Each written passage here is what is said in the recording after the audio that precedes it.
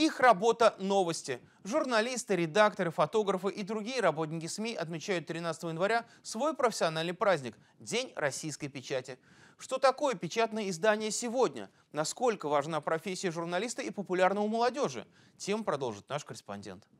Именно в этот день, в 1703 году, по указу Петра I, начала выходить первая в России регулярная газета «Ведомости».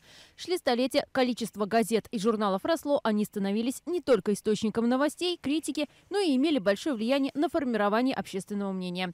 Сегодня у СМИ функции те же, а формат иной. Печать ушла в цифру, новости в социальные сети. Но официальных изданий все же преимущества остаются.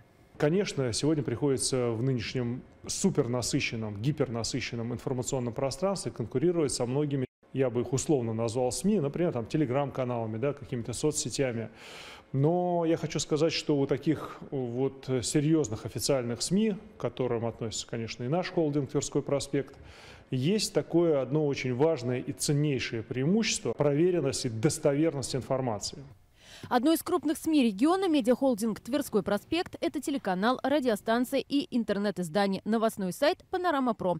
Он появился в информационном пространстве чуть более двух лет назад и уже успел привлечь аудиторию. Ведь большинство людей следит за новостями в сети, поэтому у такого формата ряд преимуществ, рассказывает редактор портала Енина Семенова интернет-издание, это наиболее быстрая информация, то есть еще что-то только-только вот начинает происходить, читатель уже в курсе, он может увидеть видео, да, раньше нам это было недоступно в печатном СМИ, в интернет-изданиях.